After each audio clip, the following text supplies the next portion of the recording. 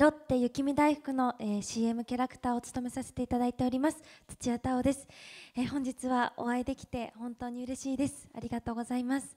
本日はこの総選挙開催を聞きつけまして上げる派上げない派で意見が真っ向から対立しているというとあるお笑いコンビがこちらの会場に来てくれているようなんです。早速お呼びいたしましょう。お笑い芸人のバイキング西村瑞希さん小峠英二さんです。どうぞ。よろしくお願いします。ようこそお越しくださいました。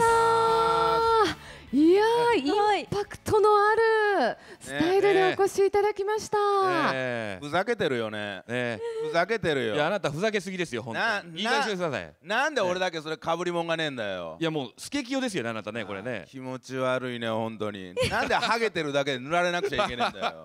あるだろこれもう一個ぐらい用意できるよ、ねあるはずではあるんですけどね。絶対あるよ、え。ちょっと実は同同同期というか事務所では同期なんですあそう同じ事務所でね。そうね。そうそうそう。あの同期なんです。え同期同期。はい。ねえ。ねこんなに差がついちゃいましたよね。すごい差ですね。ねえ。大きくねとてつもない運命の差がつきましたよええ。本当にね。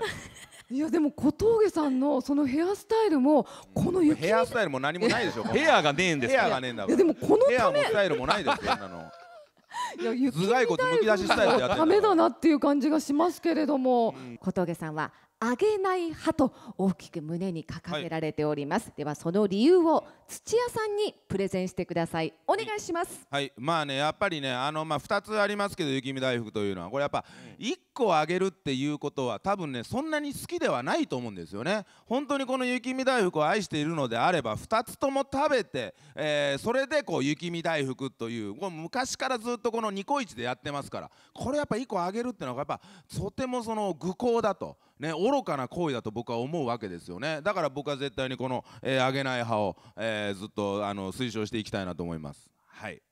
雪見大福なぜ2個入りかっていうのがもうねこれ揚げるために2個あるわけですよ。ね。もう2個揚げる用の1個なわけですよ。うん。僕も実際ねあのーもう家の冷凍庫には何個も入っててそれをねあのー嫁と風呂上がりに1個ずつ食べるっていうのをやってるわけです実際にね。うん。これをやることによってこうなんていうんですかあーんとかしたりとかね、うん。えーこのコミュニケーションが取れるわけですよ、うん。えーそのためにやっぱ2個あるわけですから、うん。ね揚げないんであればあのでっかい1個でいいでしょ、1個でいいじゃないですか。2個あるんですから。それは僕は揚げますよ。うん土屋太鳳さんのジャッジうん。お願いしおます。迷うけれど、お願い。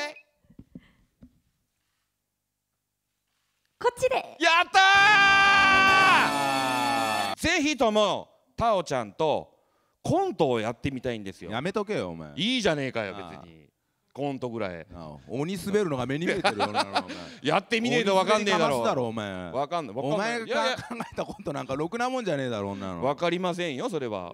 ちょっと今不安ですけれどもどうしましょう、土屋さん、ね。いやもうこれはやります。おお。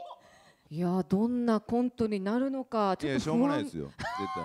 いやネタ作ったことないですから今まで。そうですよね。小峠さんが今まで僕は今までも22年間全部作ってきましたから。はあ、うんえじゃあこのコントには携わってない？携わってないですね。ええ。そういうことは面白くないですね。